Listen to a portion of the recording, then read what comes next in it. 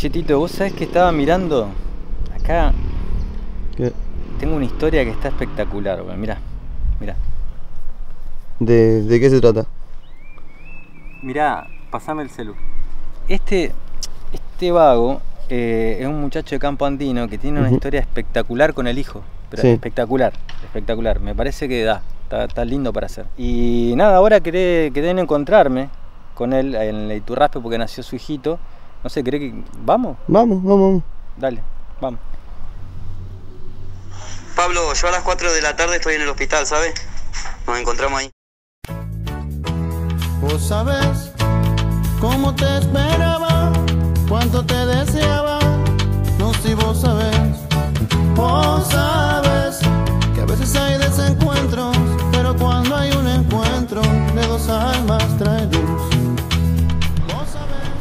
Bueno, nosotros hace ya un año que venimos con el tema de, bueno, mi hijo se enfermó, tuvo médula plasia hepática. Así que bueno, la única opción que había era para conseguir el donante si mi señora quedaba embarazada. Para poder tomar las muestras de las células madre y bueno, trasplantarlo.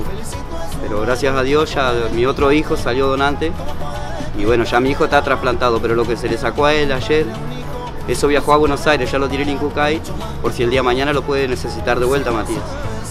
Así que por eso fue la donación de Santino hacia Matías, por si el día de mañana, ojalá que no, pero lo necesite, ya lo tenemos. Claro, sacaron, eh, o sea, toma de células madre, del cordón umbilical y placenta. Y placenta, y eso bueno, se hace con lo que quedó de Pablo, se hace todo como si fuera una mezcla y ya se guarda. Aparte no es solamente para Matías, con esa que le tomaron a él pueden salvarse hasta 20 chicos del problema que tuvo Matías. Nosotros cuando se diagnosticó lo de Matías, del hospital de niños de Santa Fe, nos manda toda la familia de urgencia a Buenos Aires, al Garrahan. Así que fuimos todos, nos sacamos la muestra para ver si había algún compatible y bueno, gracias a Dios salió uno de mis hijos.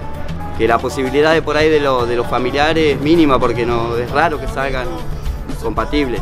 Y bueno, y cuando se puso en el banco de espera no había compatible, así que bueno, una semana hasta que llegaron los estudios estuvimos esperando a ver porque a Matías no, no le daban mucho, mucho tiempo.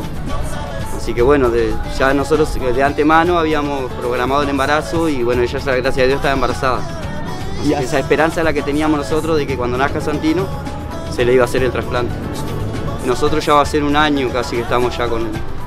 Más de un año. Más En de un año. En agosto empezó con eh, hepatitis y bueno, después se fue transformando en médula plasia. Claro, la misma hepatitis se le fue para la médula y bueno, ahí la agarró. Ahora ya está, bueno. Sí, Hay sí, que rogar todo. que Matías se recupere bien, que no lo necesite. Así podemos salvar a otros chicos que sí lo necesitan. Estuvimos siete meses en Buenos Aires. Volvimos el viernes y bueno, ya el domingo nació Santino, así que no quiso ser porteño, quiso ser santafesino. Cuando el doctor dijo, Señor, lo felicito es un varón,